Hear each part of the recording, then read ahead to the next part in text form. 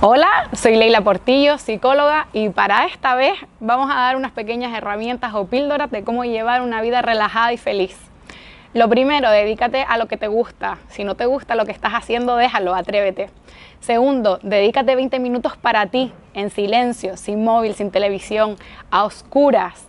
Tercero, dedícate a un hobby, algo que te llene el alma, que sea sin planificar, que lo hagas simplemente por el mero hecho de disfrutarlo.